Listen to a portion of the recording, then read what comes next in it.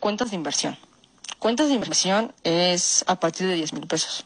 Entonces, tienes un cliente que llega y te dice, oye, quiero invertir 200 mil pesos y la quiero mandar a 190 días, 180 días. Entonces, dices, bueno, no va a venir en 180 días. Yo le voy a dar su contrato y hay una página del contrato de la inversión donde no viene especificado la cantidad que invertiste. Entonces, ves que es un cliente pues descuidado, que no, no se da cuenta. Medio ignorante. O que no tiene aplicación. También eso es muy importante que no tengan aplicación. Algo- antes de meterla, tú te vas a hacer una transferencia. No tan grande para que no pida autorización de gerente.